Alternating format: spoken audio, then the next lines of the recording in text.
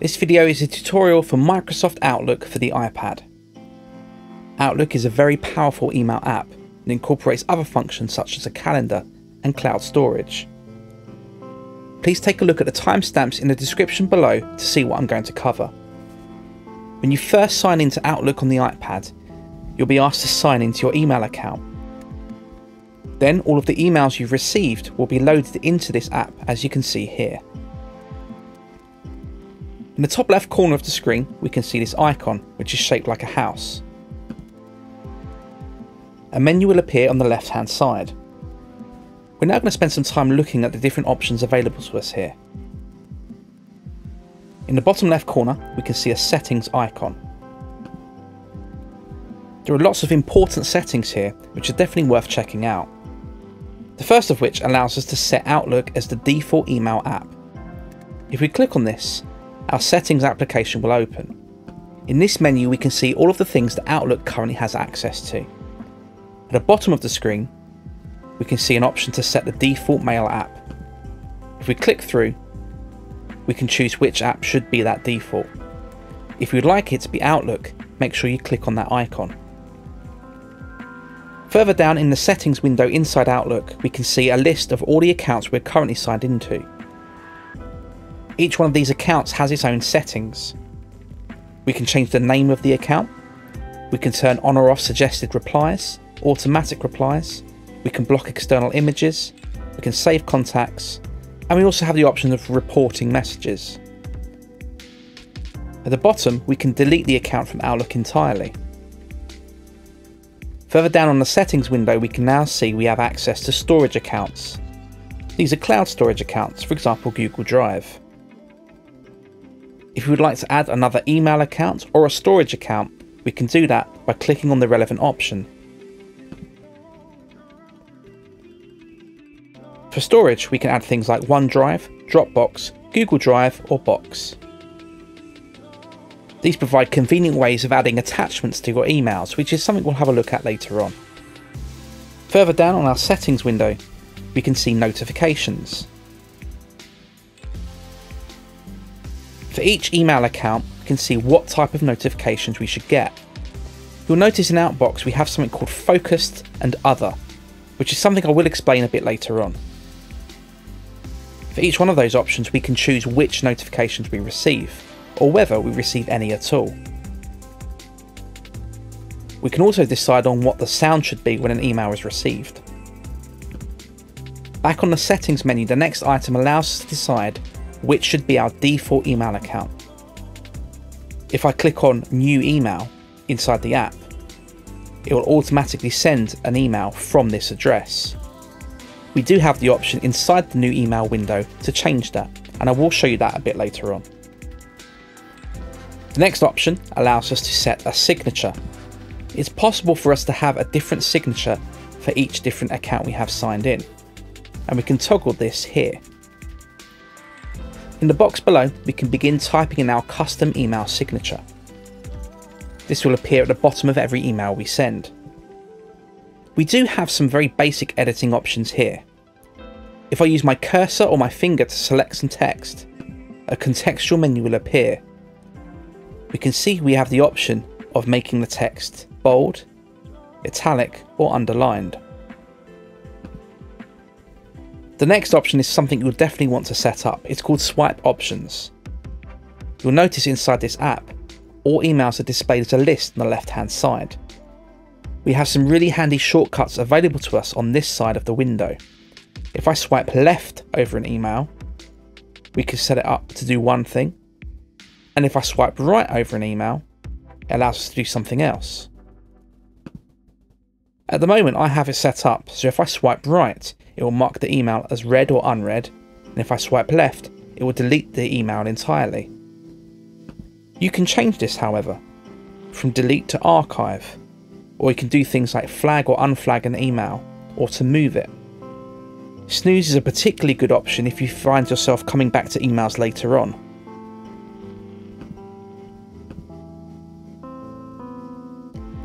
The next option allows us to turn on or off a focused inbox. This is where Outlook will categorize your emails. Focused is the emails it thinks will be most important for you to read straight away. The other option is called Other.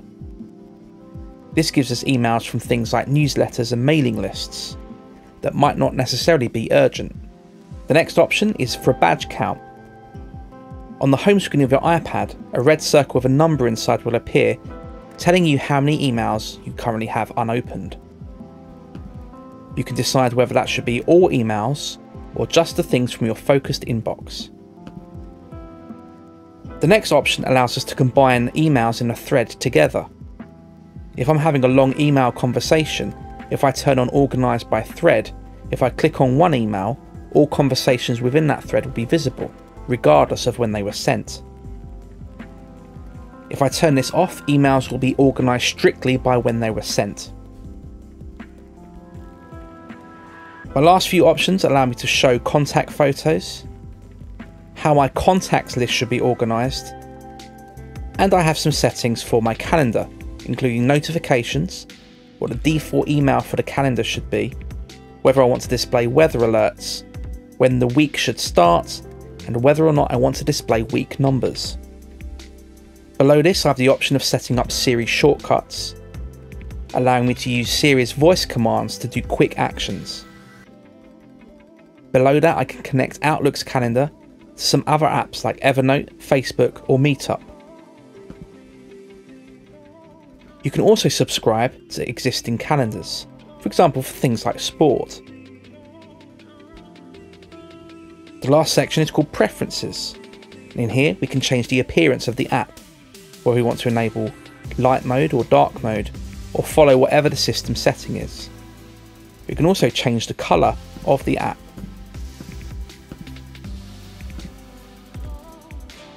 finally, we can choose between a light or a dark icon.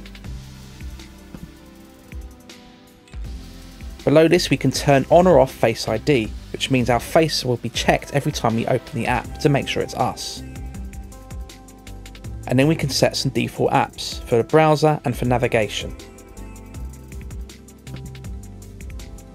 Let's take another look at that menu on the left hand side by clicking the home button again. Here we can see our different accounts and the folders for them. By default it's set to inbox. But we can have a look at drafts, our archive, sent items, deleted items, or we can check our junk folder. It is possible for us to add other folders to this list. If I go to view an email, if I have a look at the blue toolbar at the top, the third icon from the right is three dots. Let's take this existing email and move it to a different folder. I can click on Move to Folder. Here are the folders I currently have available, and in the top right of this screen I have an icon that allows us to create a custom folder.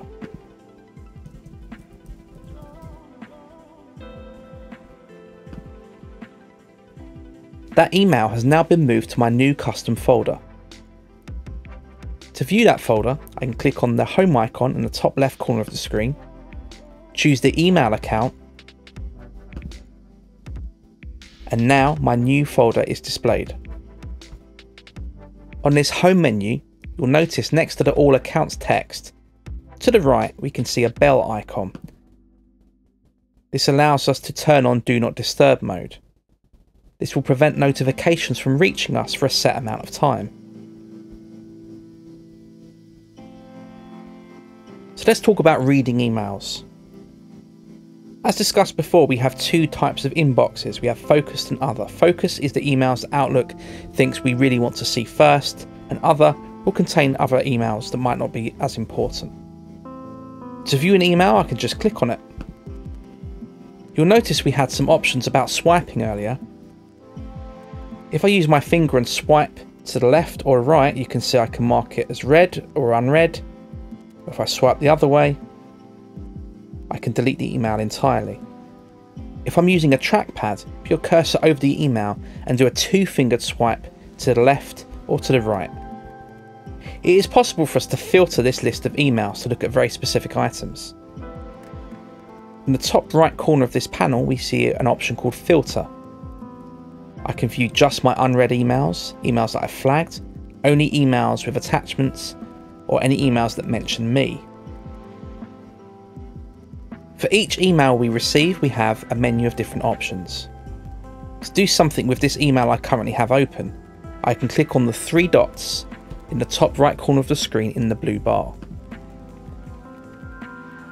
This is where I moved an email to a different folder earlier on. I can also report this email as junk, or I can snooze this email, which means I will receive it again as a new email later on if this is something I want to come back to at a different time. You can print this email if you want to, or you can ignore this conversation, which means you won't receive any notifications about it in the future. You can also mark this email as unread, and you can flag it if it's of particular importance. There's also another menu for this email. On the white part of the screen, underneath the date, we can see another three dots. From here, we can also mark it as unread and flag it. We can also reply or reply all if this email had multiple recipients. We can forward the email or we can delete it. At the bottom of this email, we can see we have this option called reply. This is a quick reply system, allowing us to quickly type a message and hit the send button. You'll notice we can add things like attachments to this quick email as well. I'm going to talk about attachments a bit later on. So let's send an email. To do this, we can click on the blue icon in the middle of the screen. If we have multiple accounts in Outlook, we can tap on the address at the top to decide on which email account we want to send this email from. Next to 2, we can type in the email address of the recipient. If I click on the drop down arrow next to it, I can also add CC or BCC. Below that, we can enter a subject for the email. And on this main part here, this is where we can type the main body of our email message. You'll notice that the email signature we set up earlier on also appears. At the bottom of this email screen, we can see four icons. The first of which allows us to convert this email into a calendar invite. We can send our current availability, or we can convert this into an event. At the top, we can type a title for this event. Next to it, we can see this purple icon. This allows us to choose what type of event it is. Under people we can choose who should be invited to this event. We can also specify a date it should start and a time, or you can toggle all day if it's going to be an all day event. If I tap on date, I can choose from this calendar the date of the meeting and using the handles above this blue strip, set a start time and a finish time. When you're done, click the blue tick. Once we've done that, we can set up a time zone. We can decide on the location and add a description for this meeting. For this calendar event, we might want to have it repeated this can be done daily, weekly, monthly, or yearly. We also have an option to schedule an alert notification before the event is due to take place. Let's take a look now at some of the other icons on our email screen. The second icon allows us to add an attachment. We can attach a file or use a photo from our camera roll. If I choose attach file, I can choose which of my cloud storage locations I want to take a file from. Or, if the file is stored on the iPad itself or in iCloud Drive, we can choose the bottom option. For each attachment, I can attach a copy or just put a link to this file instead.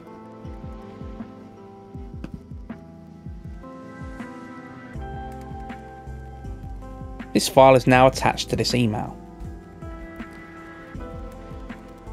If I want to take a picture to send along with this email, I can click on the third icon, which is for the camera. The last icon gives us some text editing options.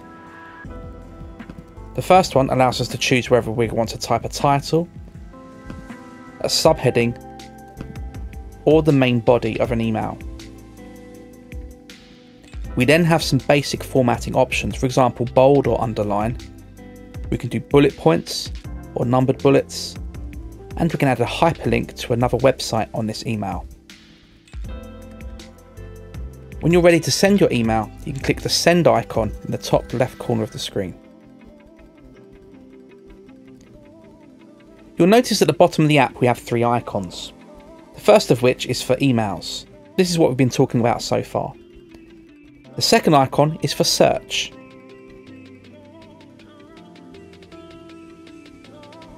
From here we can search for specific contacts or contents within an email.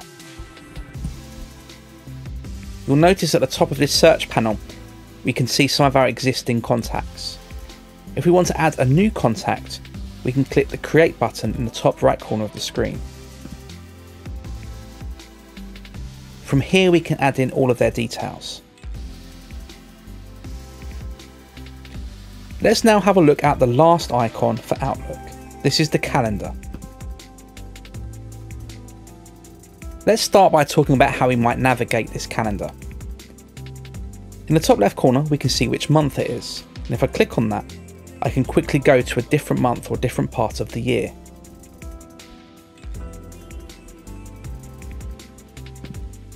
We can also choose a different layout for this calendar. In the top right corner, we have four options. We can view the week, we can view our agenda, which is simply a list of all upcoming events. We can view all events for the day, or we can go into month view.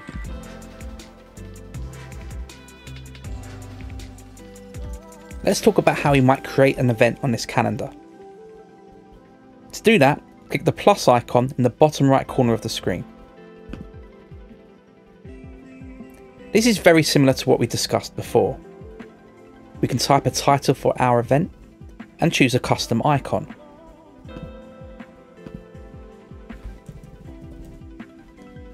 We can choose which people should be invited from our contacts. And we can choose a start date and time for this meeting. We can also set it to all day if that's applicable. Just a reminder of how we did this before. We can click on the date and choose a different date from the calendar along the top. And to change the start and end time, we can drag the handles for this blue bar here. The top handle changes the start time, and the bottom handle changes the end time. Click the blue tick when you're finished. Once again, you can choose a time zone and a location for this meeting. You can add a description, and if you want this event to repeat, you can choose at what interval.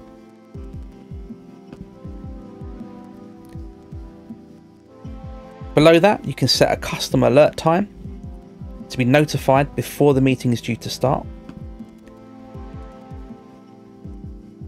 And if you're in the habit of sharing your schedule with others, you can decide whether you want to be busy or free during this time.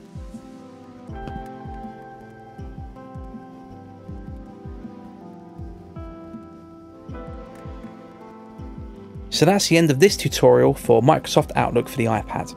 If you found this video useful, please like, comment and subscribe, and I'll be back soon with some more iPad tutorials.